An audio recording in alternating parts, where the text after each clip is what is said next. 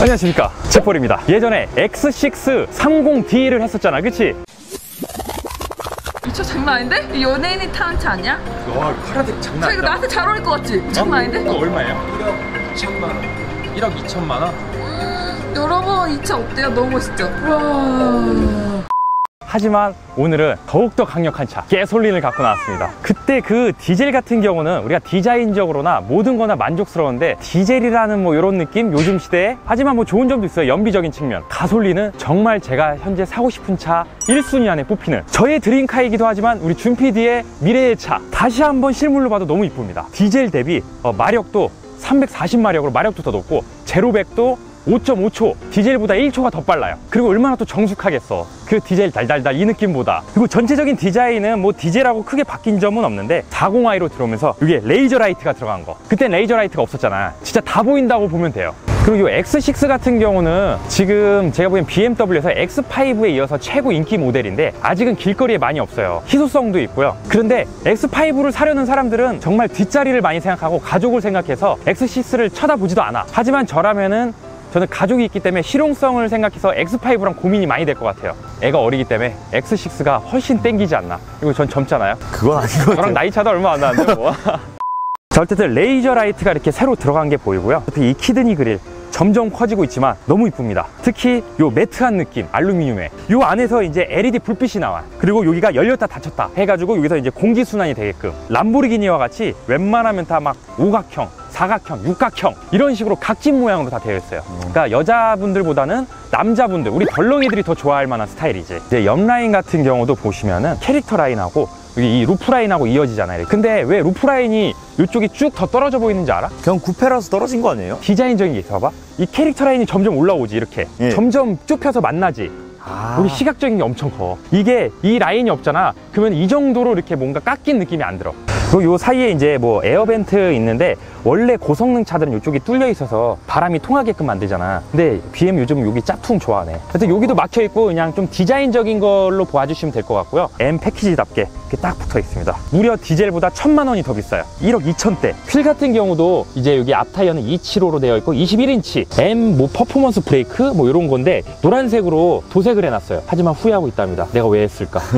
파란색이 더 이쁘긴 하겠다. 그리고 X6는 뒷 타이어가 대박입니다. BM은 보통 사륜 기반이 많은데 보통 운전할 때는 이제 후륜으로 힘이 많이 들어가요. 그래서 이 뒷 타이어 같은 315 넓이가 그때 M8보다 더 넓은 거야. 진짜 땅에 붙어가겠지. 이런 차 뒤에 쫓아가면 돌빵 난리 납니다. 역시 타이어랑 이 휠 디자인 하나만큼은 진짜 BM 멋있게 나오네요.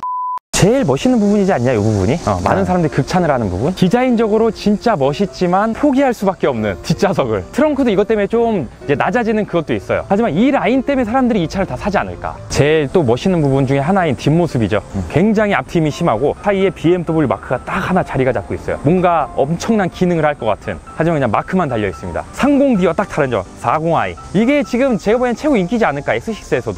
어, M50D로 가기엔 좀 가격적인 부담이 있고 30D는 연비는 좋지만 아 또 디젤 왜 샀냐 주변에서. 야 요즘 뭐하러 디젤 사? 이런 소리 좀 많이 하잖아. 장거리를 다닌다. 그럼 디젤도 상관없는데. 하지만 3000cc 가솔린에 BMW라. 와 이따가 운전할 때 어느 정도 재미가 있을지 너무 기대가 되고요.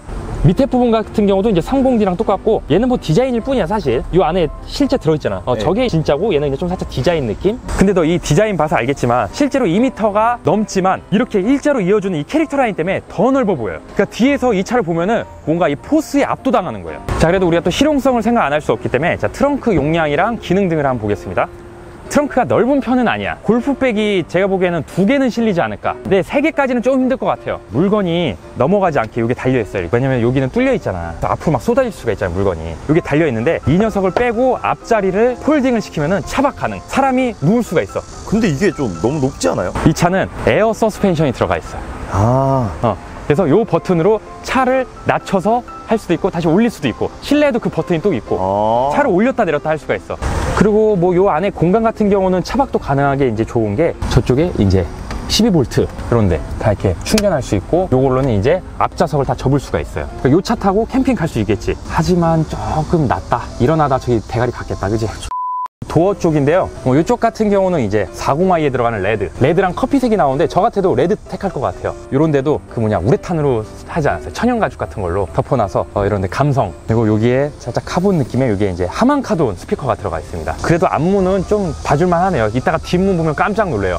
쪽문 여는 것 같아요. 쪽문. 여기서 L2를 누르면은 요걸 누르고 시트 조절하면은 조수석이 움직여. 오. 어, 따로 내가 뭐 할 필요 없어. 내 자리를 움직이면 돼. 와. 어, 이거 편하지. 어, 그래서 내가 어, 해야 때 그러면 막 옆으로 막 이렇게 해줄 필요 없어. 대신 연인과의 감성은 좀 줄어들지. 시트 같은 경우도 이제 레드 시트로 돼 있는데 진짜로 이제 좋은 옵션이 뭐냐면은 BM 같은 경우에 여기 이제 comfort 시트가 있잖아. 24방향으로 움직여. 요걸로 뭐 옆구리 조절 가능하고 의자 위 아래 양옆 허벅지 받침대도 있고 어깨 조절 헤드레스트 조절 24개로 아. 조절이 돼서 정말 나만의 맞춤으로 만들 수가 있고 요 터치만 해도 저 일단 화면에서 나와 아 시트 조절을 어떻게 할 음. 건지 어디가 움직일 건지 아무리 이렇게 만들어도 벤츠가 더 편하다며. 어 이제 앞에 화면을 보시면은 저 위에 무슨 요거 보이죠 요거 요거 저게 뭔지 알아? 그냥 뭐 아니에요? 아니야 저기서 무슨 레이저 같은 게 쫙 나와서 내 눈 쪽을 비춰 졸고 있거나 뭐 이렇게 하면 얘가 알려주는 거야 지금 이 사람이 어 뭐 이러고 있나 어 졸려 막 이러고 있나 이거를 제가 다 봐줘 봐주고 얘가 막 경고를 보내고 크루즈 컨트롤 할 때 얘가 이제 조절을 해주는 거야 어 이 새끼 자? 음. 자? 요 앞에 이 화면 보이지? 예. 요거 실제야 만약에 내가 운전을 하다가 요 앞에 차가 있잖아 네. 그러면 어떤 차가 있는지도 알려주고 어, 진짜로요? 응. 옆에 차가 있어도 다 알려줘 요거만 보고도 운전을 좀 가능하지 않을까 똑같은 차를 보여줘요? 비슷한 차 아, 비슷한 차? 어. 자 그리고 이 차가 가장 편한 점이 무선으로 또 CarPlay가 돼 그러니까 다른 차들은 내가 연결을 해야 되거든 선으로 어. 얘는 그냥 이제 와이파이 켜놓고 무선으로만 이렇게 연결이 가능해서 바로 이런 식으로 내비를 볼 수 여기에 티맵도 되고 그리고 요 화면을 멀티로도 사용할 수가 있고. 핸드폰이랑 멀티로요? 어, 그러니까 요쪽에는 내비를 띄워놓고 요쪽은 딴 걸 할 수가 있고. 그리고 이거는 제스처 컨트롤 이런 거 가능하고 이렇게 쭉 사용하는 음원이 없지만 이런 식으로 해서 음악을 넘기고 볼륨을 올렸다 내렸다. 그 핸들 모양은 사실 BM은 다 거기서 거기에요. 좀 더 이제 두툼하다? M 패키지가 들어가면은 이제 핸들이 좀 두툼해지고요. 핸들은 솔직히 좀 안 이쁘다 그지? 감촉은 좋습니다. 그래서 요 왼쪽에는 전부 이제 크루즈 컨트롤 같은 거 할 수 있고 이쪽 오디오 부분 어, 이런 거 조절이 다 가능해요. 저는 이 핸들 처음에는 되게 멋있다고 생각했는데 응. 요즘 이거 나온 게 조금 준 PD의 K5의 승입니다. 악플 좀 달아주십시오. 그 요즘 나오는 BM들은 이제 이쪽 부분들이 다 똑같이 생긴 것 같아. 단축키를 넣어가지고 내 1번에 뭘 넣고 2번에 뭐 하고 뭐 이런 식으로 어, 이런 것들이 편하고요. 라이트 버전은 이쪽이 실제 카본으로 돼 있다고 하는데 이제 그냥 기본 버전 같은 경우는 여기가 이제 이렇게 알루미늄 trim으로 돼 있어요. 여기 벌써 까졌다고 하네요. 이쪽이 생선 비늘 같지 않냐? 네. 그리고 이제 앞좌석 같은 경우는 이제 통풍이랑 온열 시트 딱 다 돼 있고 요거 진짜 혜자 옵션이야. 포르쉐만 가도 이거 그냥 다 돈 주고 옵션 넣어야 되는데 그리고 요쪽 부분 봐봐요. 그때 내가 M8 탈때 얘기했던 게 이제 여기는 스왈로브스키. 아. 크리스탈. 크리스탈 크리스탈 크리스탈. 이쁘지? 근데 M8은 여기가 크리스탈이 아니어서 좀 안 이뻤잖아. 그리고 이제 여기 뭐 모드 변경 뭐 이런 데 다 있고 이건 디젤 때 설명드렸고 이 차 같은 경우 보시면 요게 이제 에어 서스펜션이 들어가서 차 높이를 다 오. 조절할 수 있는 거야 쭉 이렇게 올렸다가 어 차 높이가 올라간다 이거 봐 차가 내려가고 올라가고 이런 식으로 디젤은 이거 없었어요? 서스펜션? 컷. 아, 모르세요? 그리고 X6 오너분들을 위한 진짜 꿀팁인데 등이 있잖아. 네. 여기 계속 불 들어와 있어야 이쁘잖아. 계속 들어있게 타고 싶잖아. 나만 도로에서 독보적으로. 근데 아무 시동이 켜 있는 상태에서는 얘를 아무리 눌러도 welcome light로 밖에 작동을 안 해. 그러면 꿀팁이 뭐냐? 시동 일단 꺼. 상태에서 요걸로 했을 때 라이트가 켜져 있는 상태로 이렇게 하잖아. 이렇게 하면은 이제 앞으로 계속 운전할 때 켜져 있어. 음. 시동을 끄고 해야 돼. 구독자 여러분, 꿀팁입니다. X6 갖고 있는 분들. 낮이라 잘 안 보이는데 이제 이쪽에 이제 ambient light 쫙 들어있고 저 도어 쪽에도. 그러니까 이거는 예를 들면 안에서도 좀 이렇게 멋있게 하려고 한 걸 수도 있는데 문을 열어놨을 때 밖에 사람들이 볼 수가 있지. 아 문이 열려 있구나. 어. 어, 불이 들어와 있으니까. 그리고 여기 가운데 천장에는 파노라마 선루프가 이제 넓게 달려있고 뒷좌석 사람들도 답답하지 않도록. 그리고 이 천장 재질 같은 경우가 먼지를 다 흡수해준다 그래. 이 블랙으로 된 거. 그러니까 먼지 같은 게 안 날아다니겠지, 차 안에서. 어, 그래서 여기 되게 좋은 재질이래. 그리고 이제 40i에는 딱 이렇게 soft closing 도어가 딱 이렇게 들어가 있어요. 추가 옵션으로. 아, 이거 괜찮지. 우리 30D 때도 해봤지만 40i 뒷좌석은 또 얼마나 좁을까? 똑같겠지 뭐. 별로 기대를 안 합니다. 자, 일단 문이 이 정도만 열리는 거. 이 문이 되게 좁지? 네. 제가 아까 얘기했던 다락방 쪽문 같아요. 그래서 등치 크신 분들 내릴 때 좀 많이 불편하고 얘는 이제 요 옵션이 들어가 있어요. 썬블라이드. 난 이거 되게 강추거든. 너무 좋아. 이거 있고 없고 차이가 심해. 그리고 여기 장점이 뭐냐면은 그나마 비행 같은 경우는 요 발밑 공간이 되게 넓어. 그러니까 차가 좁아도 그렇게 답답하진 않게. 이거 내가 아까 운전석 해놓은 자리로 내 뒤에 뒷좌석 사람이 앉으면 은 요 정도라고 보시면 돼요. 무릎 공간은 제 키에 한 요 정도? 180 제가 한 4, 5 되는데 그때 요 정도 정도 남아요. 그러니까 뒷좌석이 그렇게 편하지는 않다라고 보시면 될 것 같아요. 그리고 요쪽에 뒷좌석 편의로 해서 충전할 수 있는 공간 있으면 돼요. 아 그리고 제 머리 공간 어때? 조금 답답해 보여요. 어, 그렇지. 조금 답답합니다. 어린 아이가 있거나 그 정도면 딱 좋을 것 같은데 정말 운전자와 조수석만을 위한 차다. 그래도 이 레드 시트가 이쁘네요. 그런데 이제 도시락 같은 경우도 있고. 그리고 진짜 하나 까자면은 요 등받이 각도는 준PD K5보다 더 최악이에요. 진짜 그냥 등 서 있지. 자세 교정에는 좋겠네. 앞좌석만을 위한 차다. 다행인 거는 뒷좌석에 이제 공조 정치가 따로 있어서 이 온열 시트는 가능해요. 그래서 이런 거라도 있는 게 좀 다행입니다. 그리고 핸드폰이나 이제 이런 거 올려놓을 수가 있고요. 드디어 가솔린을 한번 타보겠습니다. 제가 사고 싶은 차 1위. 우리 준 PD의 꿈의 차 1위. 가솔린답게 굉장히 조용합니다. 겉모습은 정말 스포티한 SUV 같이 생겼는데 거의 좀 세단에 가까운 이 승차감? 어, 이런 게 있어요. 장점은 제가 항상 G80 세단만 타다 보니까 이 시야감이 너무 좋네. 백미러에서 보이는 저 뒷모습 같은 경우는 되게 좁아요. 앉아있으면 에어컨 소리밖에 안 들립니다. 그리고 도심에 이렇게 짧은 거리 같은 경우는요. 어, BMW 같은 경우는 4기통이나 6기통이나 몇 cc나 솔직히 다 거서 거기에요. 이 짧은 거리를 달릴 때. 얘가 빛을 발하려면은 고속주행.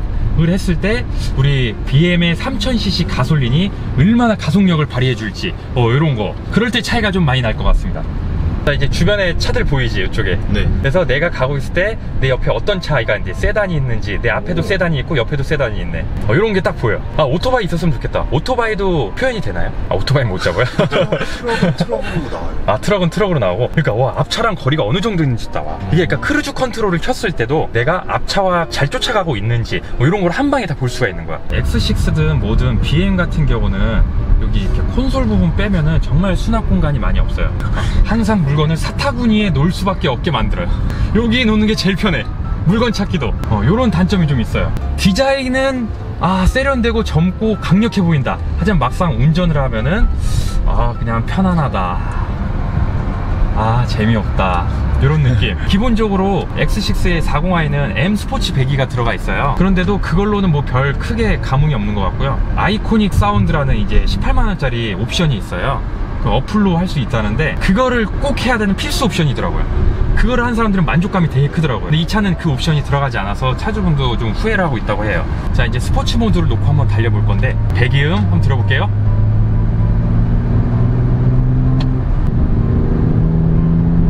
오, 살짝 올라오고 하지만 정말 우리가 기대했던 와 이런 소리는 올라오지 않아요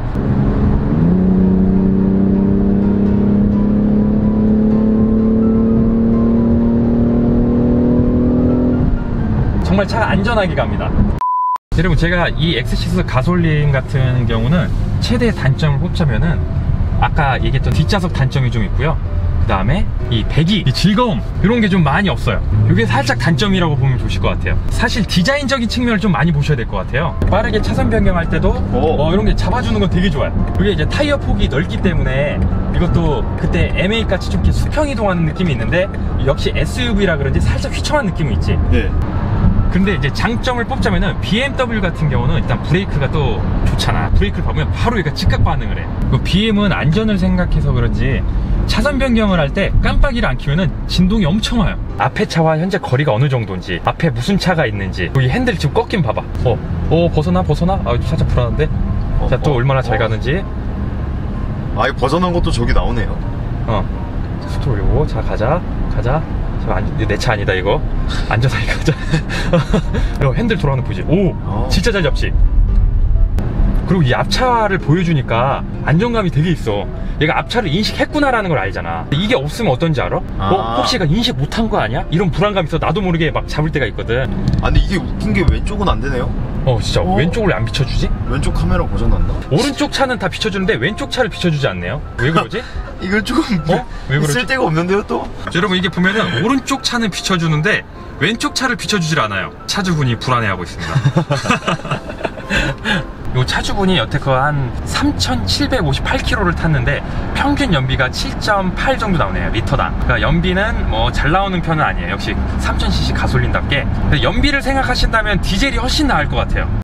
네, 오늘 X6 가솔린을 제가 오늘 타봤는데 디젤에 비해서 저는 오히려 더 재미가 없는 것 같아요. 뭐 실내 공간이라든지 뭐 이런 거는 다 마음에 드는데 짜리는 또 최악. 근데 옵션은 이게 과연 천만 원어치 옵션을 할까? 어, 이건 만족입니다. 뭐 이제 제가 원하는 옵션들이 다 들어가 있어서 뭐 이게 레이저 라이트라든지 그 다음에 휠 M 스포츠 배기 그리고 뭐 통풍 시트 그 다음에 냉온이 되는 컵홀더 이것도 들어가 있어요. 근데 이것도 안 해봤지만 뭐 오는 그 따뜻하게는 쉽게 되는데 차갑게는 또 잘 안 된다 그러더라고요. 나는 가족차로 이 차를 생각한다 어, 라고 했을 때는 X5가 좀 나을 것 같고 하지만 나는 혼자 좀 즐길 거니 나는 좀 디자인적인 거랑 그 조용한 차를 원한다. 할 때는 X6가 괜찮은 것 같아요.